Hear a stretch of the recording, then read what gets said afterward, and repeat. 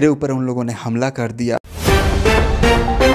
नमस्कार दोस्तों, विशाल सिंह और पावर स्टार पवन सिंह के खिलाफ बोल दी है काजल रघवानी। काजल रघवानी ने पवन सिंह और उनके टीम को लेकर कही है बहुत बड़ी बात। दोस्तों, हाल ही में घटी एक घटना जो कि महेश पांडे और विशाल सिंह के बीच था। इस पर काजल रघवानी ने भी प्रतिक्रिया दे दिया है।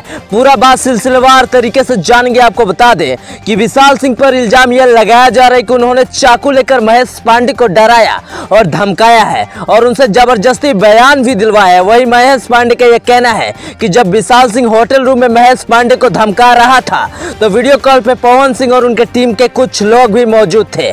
लेकिन दोस्तों, इतना ही नहीं, जब काजल अगवानी ने पूरे विषय पर पूछा गया तो उन्होंने पावर स्टार पवन सिंह के साथ ना देकर खेसारी की टीम का साथ खड़ी हो गई।